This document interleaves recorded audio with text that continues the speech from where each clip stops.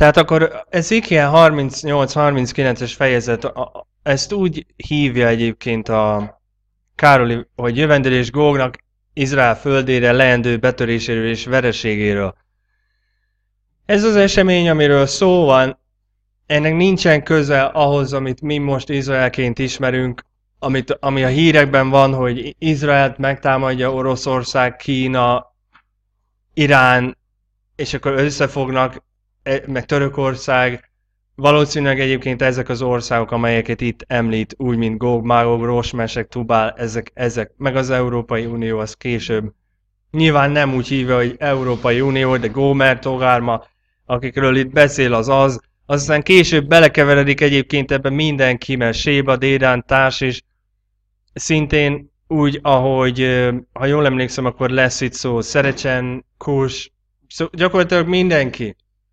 Lehet, hogy megmutatom inkább a térképen, és akkor jobban értető lesz, hogy mi az, amiről szó van. A hely, az természetesen ez itt Izrael földje, itt vannak ezek az országok állítólag, nagyjából, am- amiről szó van, északabbra lesz Mesek, Gog, Magog, az pedig ezek itt Kína, Oroszország, Törökország. Mondhatjuk azt, hogy nagy valószínűséggel, de igazából kizárásos alapon se nagyon lehet más most már. Úgyhogy idővel valóban úgy lett, ahogy Dánielnek mondta, hogy majd az idők végén megértik az emberek, hogy ki kicsoda. Én szerintem, amit érdemes megfontolni ezzel kapcsolatban, az az, ugye itt van a Perzsa, Szerecsen, Líbia, ez, ez Kám leszármazott, leszármazottai, persze a perzsák az Irán, de a Szerecsen az Kós, ha jól gondolom, Líbia pedig Put, és Misraim és Kanán, ez a négy volt Kám leszármazottja, leszármazottai, ezek azok az országok, amelyek, amelyeket úgy hívunk most, hogy Líbia, Etiópia, Egyiptom és Eritrea, meg még van egy, de azt nem, nem tudom, hogy melyik a, a negyedik, de mégis nem is az a lényeg. A lényeg sokkal inkább az, azt mondja Jahua, hogy elcsalogatlak és horgokat vetek a szádba. Ő az, aki ezt az egészet előidézi azzal, hogy azokat, azt a szellemiséget, azokat a ruhákokat felhasználja, amelyeket amúgy is használ mindig, hogy megtéveszték az emberiséget, hiszen az emberiség szíve olyan. Ekkor teljes fegyverzetbe öltözvék a nagy sokaság, mindenki, és eljönnek Izrael ellen. Azt mondja, hogy készülj hozzá, készítsd elő magadat te és minden sokaságod, kik te hozzá gyűltek, és légy nekik vezérük, ez lesz ugye Góg és Magog. Hogy kik ezek most pontosan, abba fölösleges belemenni, mert igazából nem tudom, hogy ki az. Van egy elképzelésem, és az az, hogy a világ vezetői tulajdonképpen, akiről szó van. A világ vezetői egy, egy népcsoportot alkotnak azt mondja, sok idő múlva kirendeltetel, esztendők végével bejössz a földre. Ez az esztendők végén van, ez az utolsó idő. Mondhatnánk azt, hogy most ez van, mint ahogy ez van, de ennél még lesz egy végsőbb idő. Nyilván, ahogy megy előre az idő, az egyre jobban közelítünk ehhez. Azt mondja, hogy bejössz a földre, természetesen ő itt Izrael földjéről beszél, az ígéret földjéről. Azt mondja, mely a fegyvertől megnyugodott, melynek lakói sok nép közül gyűjtettek egybe Izrael vagy Izrael hegyeire. Ez nem lehet most, mivel a fegyvertől ez a föld nem nyugodott meg, és ezek az emberek még nem gyűjt, gyűjtettek vissza oda, sőt, azt mondja, melyek szüntelen való pusztulásban voltak. Már megbeszéltük, hogy kik ezek az emberek, akikről szó van. Számos alkalommal, és ezt tartsa észbe mindenki, mert majd a későbbiekben megmutatom, hogy csak hogy mennyire közel vagyunk ehhez.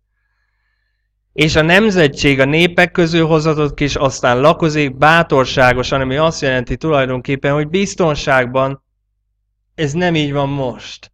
Úgyhogy ez nem lehet Úgyhogy ez, ez nem lehet a mostani időszakról szó, hiszen azt mondja, hogy biztonságosan lakoznak mindannyian. Ez most nem igaz erre a népre, aki ott lakik, ott se biztonság nincs, se a föld nem nyugodott meg a fegyvertől, ott annak az ellenkezője van most.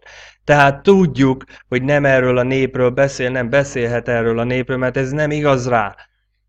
Úgyhogy lesz ott egy másik nép, aki ellen felvonul majd az egész világ. Megmutatom, hogy csak hogy ki lesz az. És feljössz, és bemész, mint a szélvész, és leszel, mint a fellek, hogy beborítsd a földet, te és minden sereged, a sok, és so, sok nép veled. És lesz abban az időben, hogy tanácsok támadnak a szívedben, és gondolsz egy gondolatot. Azt mondja, felmegyek a nyílt földre, jövök azokra, akik nyugalomban vannak, ez sakát, csendes, békés, nyugodt, háborítatlan. Ilyen nincs most Izraelben ilyen terület, ami nyugodt, vagy csendes lenne, vagy békés. Izraelben háború van, ők falat építenek. Azt mondja, akik laknak minnyáján a kőfa, kerítés nélkül sem záruk, sem kapujuk nincs nekik. Ilyen nem létezik a jelenlegi Izraelben. Már akik voltak ott, valamennyi fogalmuk van róla, hogy mi az, ami ott van, hogy gyakorlatilag gépfegyveres gyerekek rohangálnak mindenhol az utcán, és ők még csak most építik a kőfalakat, ami el, elzárja őket, Gáza, meg a többi területet a, a háborútól. Úgyhogy ez nem, nem igaz erre az embercsoportra, ott van. Akkor utána ugye Séba Dédán társ is, ezek akik jönnek vele. Én csak ennyit akartam elmondani, hogy ebből világos az, hogy nem lehet az a nép, aki most ott van, és az az ország, ez nem szólhat arról. Amiről szól, az az, hogy lesz egy, egy csere, amikor az a csoport, aki most ott van ezen a területen, az el fog onnan tűnni, és lesz ott egy másik népcsoport. Az, hogy mi okból meg hogyan fog oda kerülni, az Jahua az, aki visszahívja, már most hívja azt a népet magához. Még nem jött el az ideje annak, hogy oda menjen, mint ahogy mi is része vagyunk ennek, akiket hívott, de nem tudunk oda menni, hiszen nincs meg rá a lehetőség, még, még hivatalosan is nehéz kijutni, nem hogy csak egyszerűen oda menni és akkor ott élni. A világ szépen lassan készül erre. A vezetőség tudja, hogy mi az, amiről szó van. Ők tisztában vannak vele, hogy akik ott vannak, annak nincs köze a itt leírt izraelitákhoz, még csak hogy Ábrahámhoz sem. Vagy Sém, Sémhez sem. Hogyha egészen visszamegyünk odáig. Ez, ez a népcsoport, ez Jáfet leszármazottja, leszármazottai, Askenáz. Ez világos számukra. Úgyhogy ők megtévesztetik az egész világot. Amit meg akarok mutatni, az a következő. Azt írja a 18-as versben, hogy is lesz azon a napon, amelyen, amelyen Góg eljö Izrael földje ellen. Ezt mondja Jahua, Elohim. Felszáll haragom orromban, féltő szeretetemben, búsulásom tüzében szóló bizony, azon a napon nagy földindulás lesz Izrael földjén. Megremeglek előttem a tenger halai, az ég madarai, a, vez, a mező vadai, és a földön csúszómászó mindenféle állatok és minden ember a föld színén is leszakadnak a hegyek, és leesnek a meredek kősziklák, és minden fal a földre hull, és előhívom ellene Góg és Magog ellen. Minden hegyen felül a fegyvert, ezt mondja Jahua Elohim. Egyiknek fegyvere a másik ellen lesz. És törvénykezem vele, dög halálla, és vérrel, és ömlő záporesőt, jégeső köveit, tüzet, kénkövet, minden esőt bocsátok rá is seregére, és a sok népre, amely vele lesz. Nagynak és Kodesnek mutatom, és megjelentem magamat a pogányok sokasága előtt, hogy megtudják, hogy én vagyok Jahua. Ő lesz az, aki ezt a háborút elintézi azok számára, akik azon a területen laknak. Ez az a csoport, akihez mindannyiunknak tartoznunk kellene, ugyanis az összes többi terület, ami létezik a Földön, az mind ez alá az ítélet alá fog esni. A 39-es fejezetben a 7-es versben azt írja, hogy az én Kores nevemet megismertetem az én népem Izrael között, és többé nem hagyom megfertőztetni az én Kores nevemet, és megtudják a pogányok, hogy én, Jahua, Kodes vagyok Izraelben, vagy Izraelben. Íme eljött és meglett, ezt mondja Jahua Elohim, ez a nap, amelyről szólottam. És kimennek Izrael városainak lakói, és feltüzelik és felégetik a fegyvereket, és a kis és nagy pajzsokat, a kézívet, a nyilakat, a kézbeli pálcákat, a dárdákat, és tüzelnek velük hét évig. Úgyhogy ez egy elég nagyszabású rendezvény lesz, hogyha 7 évig fog tartani, amíg feltakarítják csak a fegyvereket ez után. És fát nem hordanak a mezőről, sem az erdőkről nem vágnak, hanem a fegyverekből tüzelnek, zsákmányt vetnek zsákmányolóikban, prédálóikat elprédálják, ezt mondja Jahua Elohim.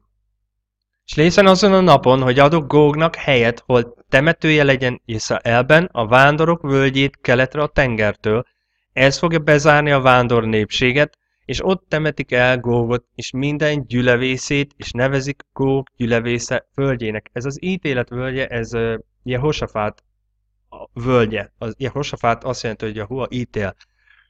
Ez az a völgy, amiről, amiről beszél eltemeti őket Izrael háza, hogy a földet megtisztítsa, hét álló hónapig temetik ezeket az embereket, és temetni fog az ország egész népe, és lészen ez nekik dicsőségükre a napon, melyen megdicsőítem magamat, ezt mondja Jahua Elohim.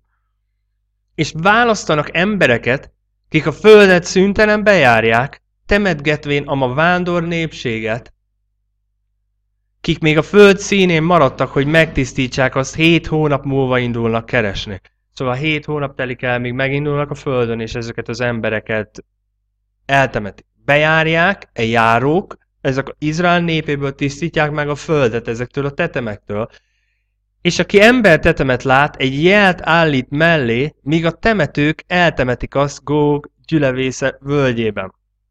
Hogy mi az oka ennek, azt nem tudom, de valami oka csak van, hogyha kell egy speciális ember, aki eltemeti a, a halottat. Most lehet, hogy nukleáris háború, vagy, vagy ö, betegség, vagy akármi, de biztos, hogy van egy funkciója. Ez a jel, ez valószínűleg, ó, oh, bocsánat, ez egy ö, ciun, ez egy oszlop, egy útjelző, hogy oda kell ö, temetni.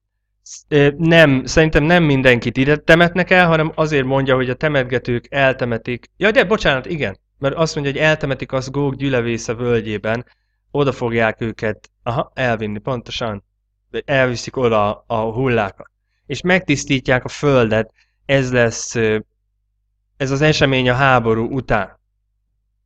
Azt mondja Jahua, hogy nem akarom az egészet felolvasni, csak ezért így szól Jahua, ez 25. Most már hazahozom Jakob fogjait, és megkegyelmezek el egész házának, és féltő szeretetem szerelemre gyulladok Hodes nevemért.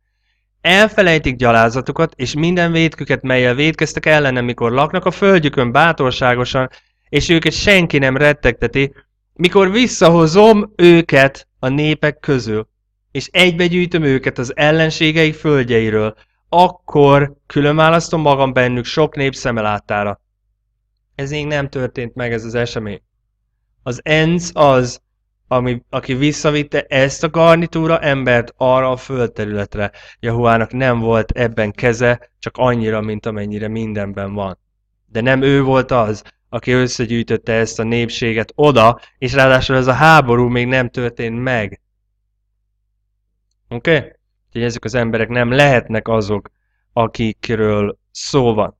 Ő az, aki visszagyűjti a népét arra a földterületre, nem az Egyesült Nemzetek, Nagy-Britannia és a Rothschild dinasztia. Ami érdekes szerintem az ügyben, hogy hol tartunk most időben, az a következő. Azt akarom, azt akarom megmutatni, hogy az a, a, a, a népcsoport kiválása a társadalomból már megkezdődött. Gyakorlatilag mi magunk is ennek a részei vagyunk, ennek a kiválásnak ez még nem annyira éles a legtöbbünk életében, de szépen szerintem mindenki tapasztalja azt, hogy amennyiben valaki elkezdi járni ezt az utat, akkor ő nem fog tudni egy idő után együtt működni a társadalommal. Ez csak egyszerűen eleinte ez működik, amikor még egyfajta hibrid életforma van, amikor így tanulja az ember, meg próbálja megérteni, de ahogy szeretnénk egyre jobban és közelebb kerülni az atyához, és azt csinálni, amit ő mond, akkor ez, ez annyi konfliktust okoz a társadalommal, és a saját lelkiismeretünk és a ruhák között, hogy mindenkinek választania kell egy, egy utat. Szóval ez elválaszt a társadalomtól, akár tetszik, akár nem. Ez nem jelenti azt, hogy mi jobbak vagyunk persze, vagy kiközösítünk bárkit, ez csak egyszerűen így van. Ugyanúgy, mint a zene, vagy a film, vagy akármi. Én nem megyek el megnézni a jégvilágot, vagy mi az, mert nem érdekel. De akit érdekel, az ott van. Szóval engem ez elválaszt azoktól az emberektől. Ugyanúgy, mint a fagyi, vagy a disznóevés, vagy az anyák napja. Ettől ők nem jobbak, vagy rosszabbak, mi csak ezt az életet választottuk. Szóval ez a kiválasztás már elkezdődött, de ez ennél csak és kizárólag durvább lesz. Ha valaki megértette azt, hogy mi az, amit én mondok a, arról, hogy ki az igazi nép, akkor azt tudja, hogy mi az, amiről szó van most. Ha valaki nem értette meg, az meg megfogja, amikor megnézi a videókat az igazi Izrael többek között elmagyarázza azt, hogy ki is az, akiről szó van, plusz a, a legnagyobb bizonyíték az kell, hogy legyen mindenkinek, akinek esetleg kétsége van, hogy én ezt tőlük tanultam. Én nem mondom azt, hogy én egyetértek velük a, azzal, ahogyan viselkednek, de a tanítás az attól függetlenül még alapvetően egyezik.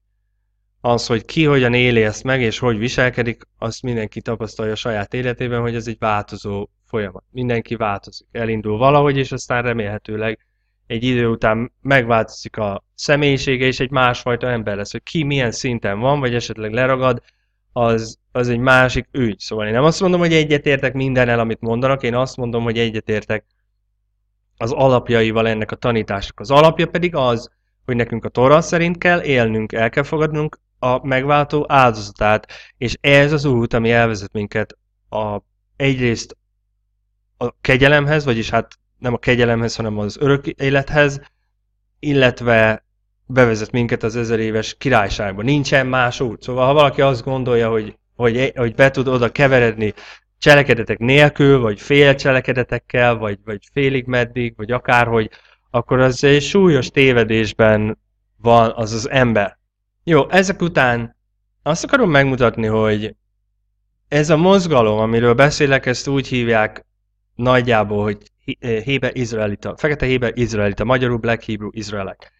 A lényeg az, hogy ezek az emberek rájöttek arra, amire most már mi is rájöttünk, hogy a világ egy hazugság. Azok, akik Izraelben élnek, nekik semmi közük nincsen sem Izraelhez, úgy, mint Jakobhoz, sem pedig Icákhoz, vagy Izsákhoz, vagy Ábrahámhoz, de még csak Sémhez sem. Ez nem is titok, ezt ők is tudják, ezt gyakorlatilag mindenki tudja, aki 10 percet rászánt.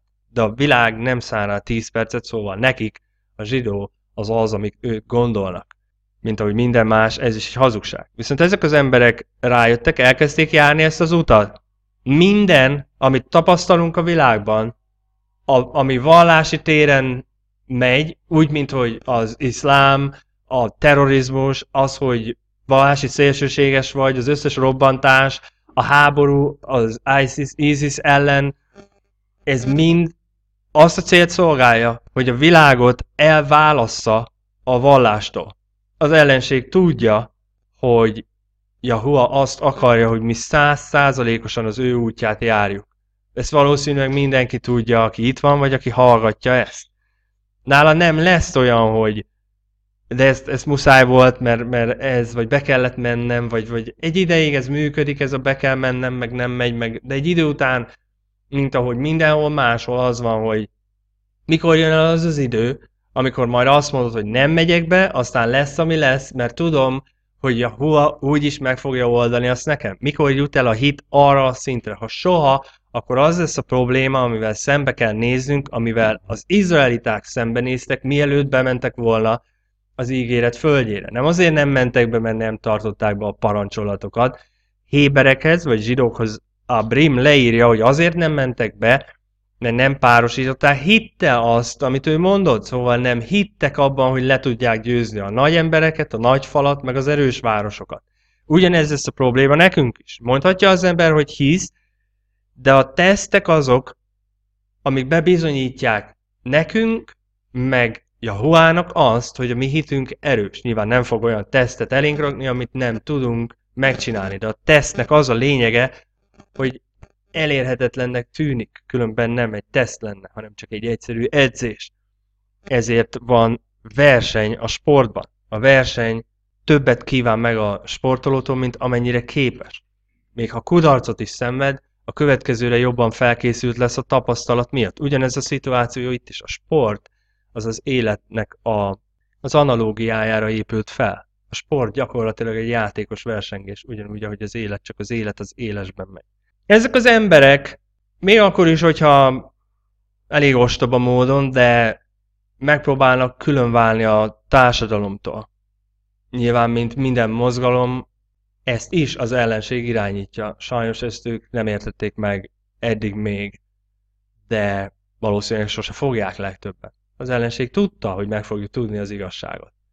Ezért elindította ezt a mozgalmat évtizedekkel azelőtt, hogy mi egyáltalán eljutottunk volna az internetig. Ez a mozgalom, ez létezett már évtizedekkel korábban. Ő tudta, mint ahogy minden más esetben, hogy nem lehet az igazságot visszatartani. Én ezt akartam elmondani, illetve hát ezt is mondtam el valamelyik videóban. Az igazságot nem lehet visszatartani. Ő nem is akarja visszatartani, mert tudja, hogy nem lehet. Neki elég, hogyha csak az élére áll minden egyes mozgalomnak, és azzal a legtöbb embert ő már el is terel. Persze, Jahua mindig ki fogja hívni azt, akit akar, de az mindegy, ez járulékos veszteség neki. A lényeg az, hogy a többség az menjen a, a rossz irányba, és ez az, ami most történik a világban. Ez a helyzet ezzel a mozgalommal is, ez a helyzet a kereszténységgel is. Mikor Konstantin összehívta 325-ben a Nicai zsinatot, ő nem azért hívta össze, hogy majd mindenkivel megismerteti az örök életnek a titkát. Azért hívta össze, mert rájött, hogy akármennyi ember fűrészel szét, meg éget, meg összetör, meg a lovakkal szétszibáltat, ezek az emberek úgy is ezt fogják csinálni. Úgyhogy akkor már egyszerűbb, ha azt mondom, hogy én is ezt csinálom, és én irányítom az egész mozgalmat. Ezért hívta össze, ezért van az, hogy ma a vallási vezetők többsége még mindig vissza akar menni a nícai zsinathoz, meg a Szent Háromsághoz, meg ahhoz, hogy Jézus Isten, meg hogy eltörölte az összes parancsolatot, ezt hívják katolikus egyháznak és kereszténységnek. Ugyanezt történt ezzel a mozgalommal is.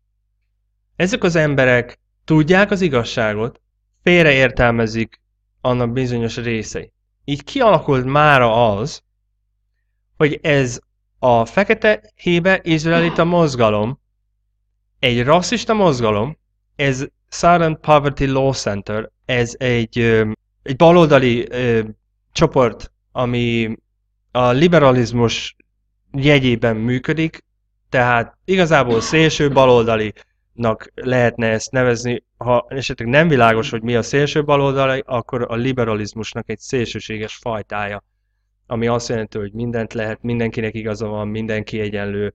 Ez, amit ma látunk a világban. Ők ezzel foglalkoznak, ez az egyik legnagyobb ilyen szervezet, nem csak az Amerikai Egyesült Államokban, hanem nemzetközi szinten is. Azt mondják, hogy a fekete héber izraelita mozgalom az egy rasszista mozgalom, és katonaivá kezd válni egyre inkább. Oké, okay? ez erről szól ez a cikk. Úgy kezdik, hogy ismeri mindenki a fehér felsőbbrendűségi mozgalmat, nyilván ez az árja mozgalom, vagy a, a, amit állítólag Hitler képviselt, ennek ez a fekete verziója. Black Supremacist azt jelenti, hogy fekete felsőbbrendűségi szárnya vagy oldala a Héber-Izraelita mozgalomnak egyre inkább terjed, és a vezetői egyre inkább egy katonai mozgalomhoz hasonlítanak. Biztos érti mindenki, hogy mi az, amire próbálok kiukadni, de ha nem, akkor hamarosan meg fogja érteni. Ez csak egy, Vox ugyanerről számol be. Egyébként azt mondják, hogy a, ez a mozgalom, ez egy gyűlöletcsoport. Ugyanez a helyzet a Ku Klux Klánnal, vagy bármiféle nacionalista csoportosulása, ami, ami ez. De egyébként, hogyha valaki fundamentalista keresztény, ami ma számunkra viccesen hangzik, mert ők majd, hogy nem ugyanazt csinálják, mint a többi keresztény, csak néhány dolgot betartanak. A fundamentalista keresztény is egy szélsőséges csoportosulás. Sőt, lassan a kereszténység is egy gyűlöletcsoport lesz. Néhányan ezt tapasztalták, hiszen már nem lehet idézni sem akármit az írásokból, anélkül, hogy ne, ne kelljen szembenéznünk bizonyos, bizonyos hátrányos megkülönböztetése ezzel kapcsolatban. Gondolok például mondjuk 3 és 11 19-20 körül, mikor arról beszél, hogy a férfi a férfival, a nő a nővel, ezeket már ne, hogy ez egy utálatosság, hogy ezt Yahoo utálja, hogy ezt nem lehet csak úgy hangoztatni ma már. Szóval ezt mindannyian tapasztaljuk a saját bőrünkön ezt a dolgot. Ez most már egy gyűlölet csoport. Ezt meg akartam mutatni ezt az interjút, de aztán látom, hogy ez 8 perc, úgyhogy lehet, hogy nem is ö, megyek bele, de volt egy videó, az a lényeg, hogy meg kell értenie mindenkinek, hogy a média száz százalékig manipulált. Minden egyes elem, amit az ember a tévében lát, az része a propagandának. Semmi sem valóság abból, amit látunk. Nem arról van szó, hogy a, az események nem valóság, arról van szó, hogy maga a narratíva vagy a történet nem úgy van, ahogy azt elmondják. De a nagy része ezeknek az eseményeknek egyébként egy koreográfia szerint működik. Tudom, hogy ez hihetetlen, de ez így van. A nemzetközi politikában egy koreográfia alapján működnek a dolgok. Ha valaki elég ideig figyeli, akkor meglátja ezeknek a, ennek a koreográfiának a jeleit mindenhol gyakorlatilag a médiában. Ezt okosan kitalálták, és vezetik az emberiséget egy irányba. Ami itt történik, ez Fox News egyébként, mind a két ember ebben ilyen vagy olyan formában szerintem benne van. Vagy tudatlan, vagy ö, hazudik. De így vagy úgy benne van ebben. Megpróbálom lejátszani, és akkor nézzük, hogy mi is az, amiről szó van. see yelling at the high school students. Make America great again. A bunch of child molesting Look all these dusty cracks with that racist garbage on them. That's A right. bunch of in- incest baby. Biggest terrorists on the face of this earth is the pale-faced man, woman, and child. Oké, okay, azt akartam megmutatni, e- ez egy, ez egy iskola példája, amint érthető, ami történik egyébként a képernyőn. Van egy tüntetés, ahol részt vesznek a fekete hébe izraeliták, ezek a karakterek, középiskolai tanulók egy katolikus ö, iskolából, és a, az őslak, őslakos indiánok. Oké? Okay? Szóval ez egy tökéletes mixernek az egésznek. Ez így van kitalálva, ez az egész. Oké, okay? és az, az, én ismerem a történetet, én ezt követtem már akkor is, de a lényeg az, hogy ez nem is csak egy legyetűt, egy csapása, hanem számosat. Ne, nincs arra idő, hogy elmagyarázom az egész történet, hogy, mert ez egy komplex dolog, ami ott lezajlott. De a lényeg az, hogy most ezen, ezen ügy kapcsán nem csak az egész amerikai Egyesült Államok, ezek itt a katolikus tanulók, ott a, láttuk az előbb a hébe izraelitákat, és majd lehet látni a, a, a katolikus tanulók mind a, a Donald Trump sapkáját viselték, amit ugye úgy hívnak, hogy Make America Great Again, azaz tegyük Amerikát na- nagyjá újra. Az a sapka a nacionalizmus és a szélső jobboldalnak a szimbóluma lett Amerikában. Úgyhogy ez egy koreográfia. Én ezért mondom el az embereknek, ez egy koreográfia, ami alapján működik a világ. Ez, ez így lett kitalálva, hogy ezek, ez az embercsoport egy tökéletes vihart hozzon létre azon a helyszínen. A lényege ennek az egésznek az, az egész világ látja, hogy aki azt gondolja, feketeként, hogy ő izraelita, azt egyből ezzel fogják azonosítani. Ezért mondom, hogy a média manipulálja az emberek agyát. Mostantól, aki nézi Amerikában a tévét, azonosítja azt a karaktert, aki feketeként azt mondja, hogy ő rabszolgaként lett behozva, ő Izrael leszármazottja, ezzel a fajta viselkedéssel. Így, plusz, akkor írja Vox, de írja egyébként ez a SPLC, de, de számos másik oldal, Washington Post ír ugyanerről az esetről, fekete izraeliták, a központban van a csoport, aki, aki a katolikus tanulókkal szembenézett. Ez az, amiről ír Washington Post. Arról beszél, hogy a fekete iz, iz, héber izraeliták, és ugye ez az ellentmondásos eset, amiről most szó volt, erről ír Fox 19, ezek után, ez folyamatosan ez van végig mindenhol. De a lényeg az, itt van egy New York magazin, Andrew Sullivan arról ír, a gyűlölet, gyűlölet ellennek a mélysége. Ugye a katolikus héber izraelita és a, és a őslakos indián a gyűlölet, a gyűlölet ellen, és hogy ez, ez mekkora probléma. Fox News, értető, am, amit szerettem volna mondani? Az idő közeleg, nekünk nem kell feketének lenni, hogy, hogy, hogy a, a világ utáljon. A lényeg az, hogy mindenki, aki nem az a fajta keresztény, akinek minden mindegy. Mert ugye azt mondja, Jahusa megmondta Máté 10.31, hogy 10.34, ne gondoljátok, hogy azért jöttem, hogy, hogy békességet bocsássak-e földre, nem azért jöttem, hogy békességes, békességet bocsássak, hanem hogy fegyver. Hát ha azért jött, hogy fegyvert bocsásson, nem békességet, akkor minek keressük mi a békességet mindenkivel? Nem azt mondom, hogy háborúzunk, mint ahogy ezek az emberek. Azt mondom, hogy hogyan is lehetne akkor békességben élni mindenkivel. Azt mondja, azért jöttem, hogy meghasonlást támasztjak az ember és az ő atya, ez ketté vagy elválasszam, vagy szembeállítsam az embereket. Dikhadzo. Az ember és az ő atya, vagy apja, a lány és az anyja, a menny és az ő apósa között, hogy az embernek ellensége legyen a háza népe. Aki inkább szereti az apját és az anyját, hogy nem engem, nem méltó én hozzám, és aki inkább szereti a fiát és lányát, hogy nem engemet, az nem méltó hozzám. Nem tudunk együtt élni a világgal, ez egyszerűen csak lehetetlen. Én nem azt mondom, hogy nekünk keresnünk kell a konfrontációt, mint ahogy ezek az emberek teszik azt, mert az egy, az, azzal az a probléma, amit látunk. Az ellenség sokkal intelligensebb nálunk. Ő ezeket úgy is ki fogja használni. Szóval nekünk nem is kell keresni a konfrontációt az emberekkel. És anélkül is meg fog az találni minket. De ha keressük, akkor annak ez lesz a következménye. Ezek az események, amiket itt látunk, felvezetnek minket ahhoz, amit olvastunk Ezékiel 38-as fejezetben. Azt mondta, ki vezeti azokat az embereket, ő lesz az, aki kivezeti majd a népek közül, és ott fognak lakni azon a területen. Azért fognak ezek az emberek ott lakni, mert a társadalom ki fogja magából vetni őket, mert a két életforma nem fog tudni egymás mellett létezni együtt.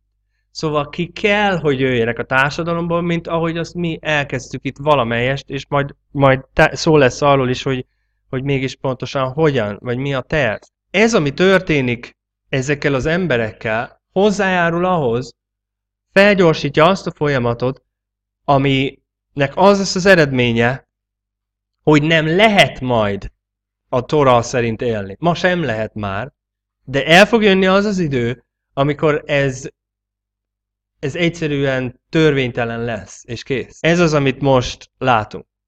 Nekünk ki kell mennünk a társadalomból, mert a társadalomnak lesz egy olyan rendszere, amit mi egyszerűen csak nem fogadhatunk el, és kész. Most még van annyi szabadsága mindenkinek, hogyha keményen dolgozik, néhány év alatt el tud jutni egy olyan fajta függetlenségig, ami lehetővé teszi azt, hogy, hogy a társadalom mellett eléldegéljen. Minél egyedülebb van, annál egyszerű. Hamarosan az lesz, hogy erre egyáltalán nem lesz lehetőség. És ezek az emberek hozzájárulnak nagyban ahhoz, hogy, e, hogy ez a folyamat eljöjjön. Ez az, amit most látunk. Ezt akartam így összefoglalni, hogy ez érthető legyen. És persze ők félre vannak vezetve, ez, ez tiszta sor, én ezt értem. Félreértik az üzenetet, de az nem azt jelenti, hogy esetleg három-négy év múlva nem térhetnek észhez, és nem érthetik meg azt, hogy hoppá, ez nem így működik, ahogy én azt elképzeltem akkor. És biztos vagyok benne, hogy Jahua azt fogja mondani, hogy ez benne van, mindannyian hibázunk, de a következményekkel számolnia kell majd mindenkinek, és a következmény az lesz, hogy az a viselkedés elvezet minket ahhoz, hogy mindenki, aki a Tora szerint akar élni, az vallási szélsőséges lesz, az egy fundamentalista lesz, extrémista, és az a társadalom, társadalmon kívül kell majd, hogy éljen. És nem lesz máshol hely számára, mint az a terület, ami addigra megüresedik, ami Izrael lesz, ahova Jahua hívja vissza az ő saját népét. Mindenki, aki egyetért a társadalommal, benne marad a társadalomban, és része lesz Góg, Mágóg és ennek a gyülevész népnek, mindenki, aki kijön onnan, az része lesz annak, aki ott fog lakni az új világrend megalakulása közben, illetve abban a folyamatban. Ennek a vége lesz, a betetőzése lesz az, ami Jehosafát völgyében történni fog.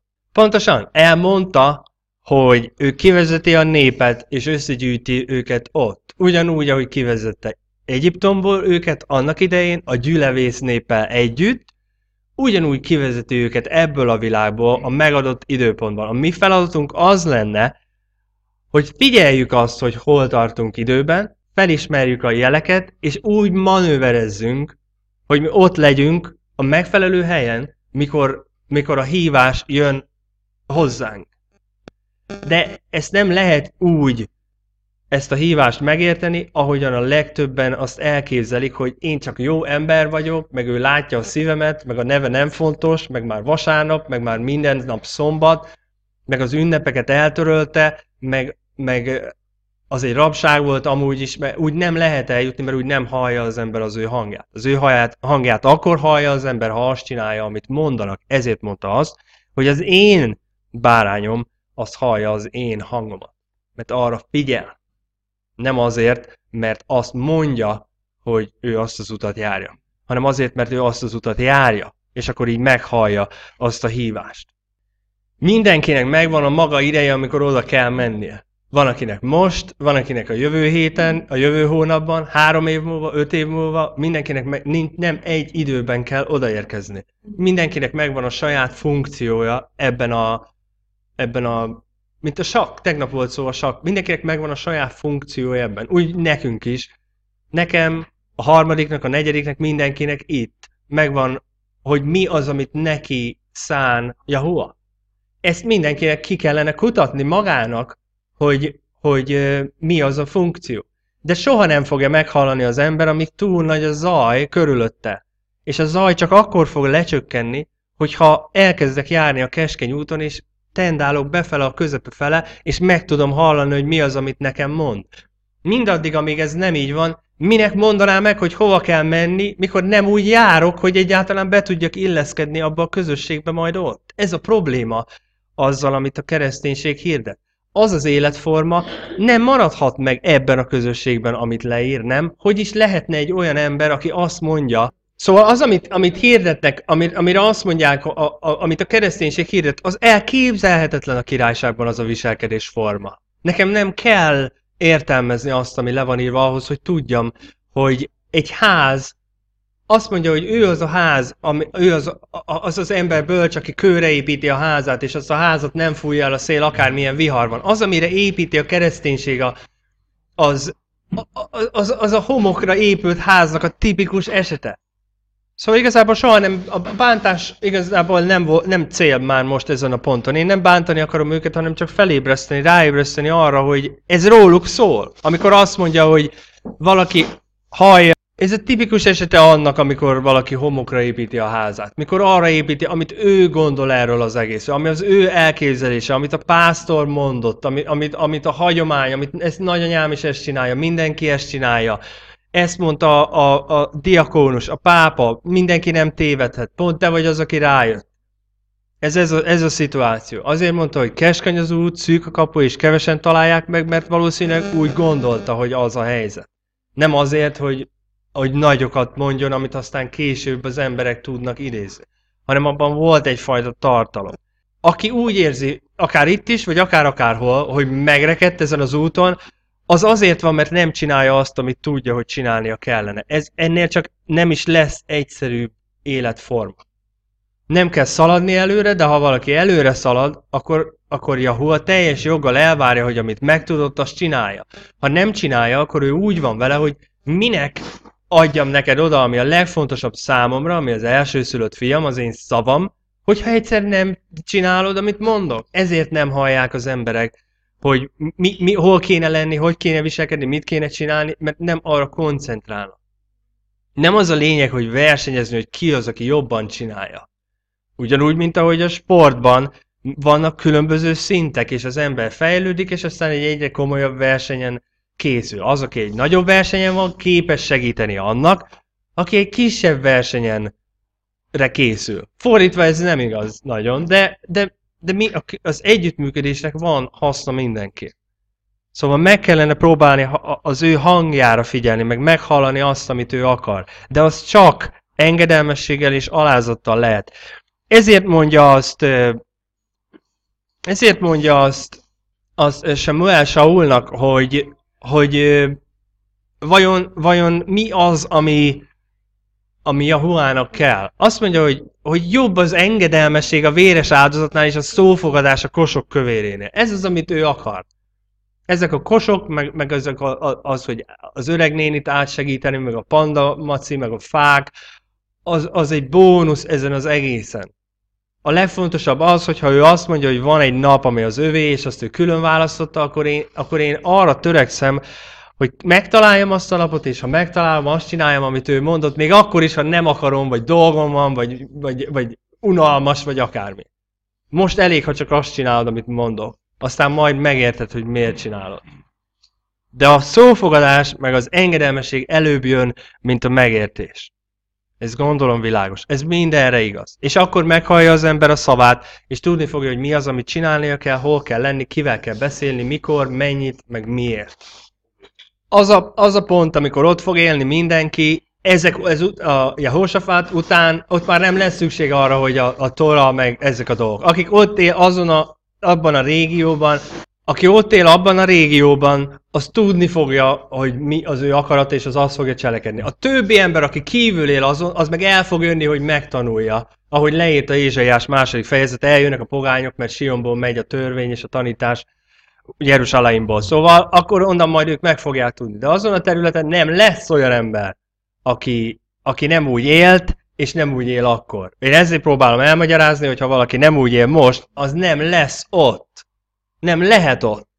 Az, aki azt mondja, hogy még lehet hurkát enni, meg a disznótor belefér, meg ezek a dolgok, hogy lehetne azon a területen, egy abszurd az egész gondolkodás. Hogy, hogy le, azt mondja, hogy pap, ti lesztek kiválasztott papság, meg királyi nép, meg akármi. Még ha én nem is leszek pap, hogy lehetnék ott egy pappal, ha én közben tűcsköt bogarat akarok enni, meg, meg ez az egész. Szóval ott nem lesz ilyen probléma. Az a terület, mire eljutunk idáig, már túl lesz azon, amit mi a harmadik világháborúnak hívunk. Am, ezért alakul ez a háború ott a helyen, nem? Jahua megmondta, hogy ő az, aki intézi ezt az egészet, az, ami most történik Izrael, az arab világgal, a muszlimokkal, ott az amerikai Egyesült Államok, Szíriát támogatja Oroszország, Iránt, Kína, az amerikaiak mindenkit, ez, ezért gyűjti oda. Az Európai Unióba kötelező a katonaság. Ez az egész folyamat már nagyon-nagyon régen megy. Ő már gyűjti oda ezeket az embereket. Ez egy nagyon bonyolult dolog, hogy, hogy ők miért akarják, akik a világot irányítják, azt viszont nem fogom tudni elmagyarázni most ennyi időben, de mindenki azt hiszi, hogy, hogy jó úton jár. Mindenki száz százalékig azt gondolja, hogy nyerni fog. Minden szereplő, beleértve minket is. Ezt gondolja a világelit, a fekete héber izraelit, a keresztény, a, a muszlim, a, a, a, a judaista, aki ott van, vagy a zsidó, mindenki azt gondolja, hogy ő, ő tudja, hogy mi van, és ő a jó oldalon áll. Szóval a mi dolgunk relatíve egyszerű, nekünk csak azt kell csinálni, ami le van írva. Mi tudjuk, hogy az az igazság. Az a baj, hogy senki más nem csinálja ezt. Mindent lehet csak ezt csinálni, nem. Azt a, azt a területet a, a világháború el fogja intézni.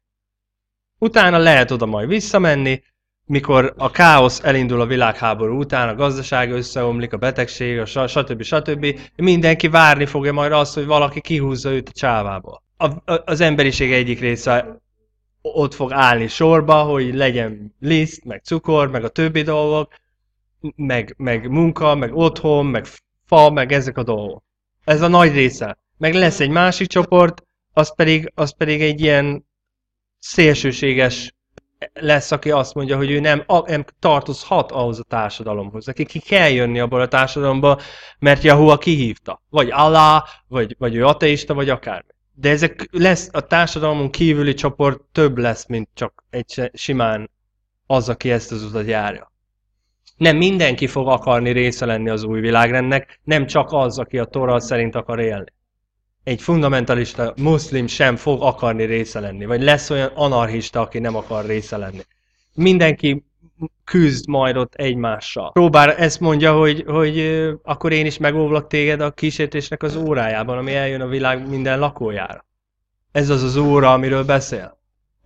Amikor, amikor meg leteszteli az egész világot azért, ahogyan élt az lesz majd az igazi kihívás, a- akkor azt mondani. Mert most e- egyszerű azt mondani, hogy de, de van időszak, amikor nincs mit enni, nincs mit inni, és akkor, akkor az fokozódik az a, az a dolog.